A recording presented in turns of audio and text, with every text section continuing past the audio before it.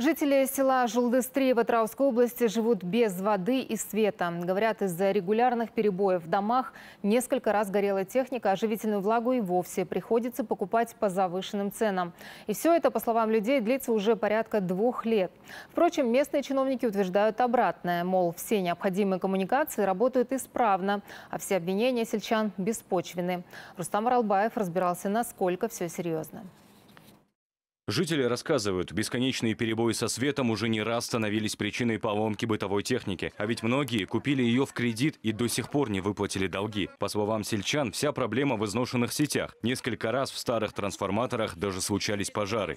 Көптеген осы техникалары Наша техника постоянно выходит из строя. Мы еще и платим немало. Каждый месяц по 7-10 тысяч тенге. Это в селе. И так уже 3-4 года. Еще и перебои постоянные. Старые трансформаторы ни разу не ремонтировали. Кроме расходов на постоянно ломающуюся технику, значительные траты идут на воду. Ежедневно сельчане покупают живительную влагу за 350-400 тенге. Однако некоторые предприниматели решили воспользоваться ситуацией и поднять цену, сетуют жители. 19 литрlik сатып алып жүрміз ғой Покупаем в бутылках по 19 литров, однако, когда воды нет, некоторые продавцы поднимают цены до 1200. Мы же простые сельчане, для нас это очень дорого. Если за обычную воду приходится столько платить, то у нас потом денег не остается вообще.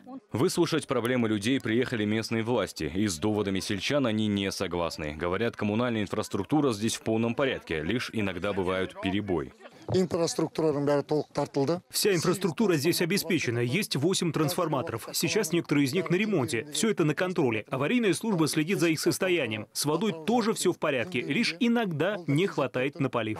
На сегодня в селе проживают более трех тысяч человек. Жители теперь намерены обратиться в областной акимат, чтобы решить наболевшую проблему. Рустам Раубаев, Жулдыс Хайрат Фархат Тажибаев, телеканал Алматы, Атрауская область.